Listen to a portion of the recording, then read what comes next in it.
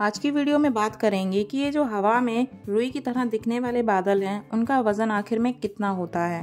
तो चलिए देखते हैं। बादल भले ही देखने में हल्के लगते हों, लेकिन एक एक बादल का वज़न सौ सौ हाथियों के वज़न से ज़्यादा होता है।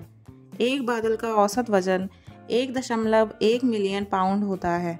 इसे किलोग्राम में बदले तो यह लगभग साढ़े चार सौ हज़ार किलोग्राम होता है। यानी इसे आप सौ हाथियों से ज़्यादा का वज़न मान सकते हैं। सवाल यह उठता है कि जब बादलों का वज़न इतना होता है तो वे गिरते क्यों नहीं हैं? तो बता दें, विज्ञान इस पर एक थ्योरी देता है। इसके मुताबिक, हवा में हर तरफ़ पानी वाष्प के रूप में मौजूद है। यही जल वाष्प वाली गर्म हवा ऊपर उठती है तो धीरे धीरे ठंडी होने लगती है। फिर इसमें जमा पानी जब एक साथ आता है तो छोटी छोटी बूंदों के आकार में इकट्ठा होने लग जाता है। इसे हम आम भाषा में बादल कहते हैं। बादलों में मौजूद पानी की बूंदें इतनी छोटी होती हैं कि गर्म हवा इन्हें आसानी से ऊपर उठा देती है।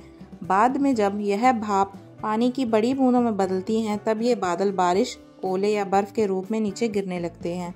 जब तक ऐसा नहीं होता, तब तक ये छोटी छोटी बूंदें हवा में ही तैरती रहती हैं और नीचे नहीं गिरती हैं।